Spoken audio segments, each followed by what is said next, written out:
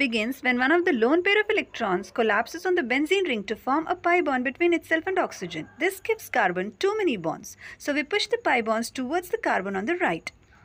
But the electrons are now sitting on the carbon and they have a negative charge.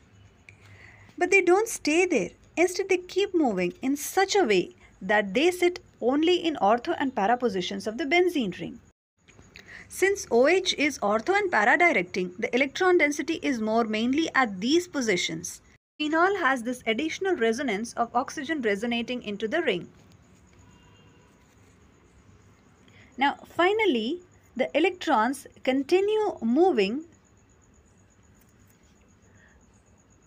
towards the carbon holding the oxygen which will ultimately push the pi bonds between the carbon and oxygen which reforms our initial structure with pi bonds shifted over one position.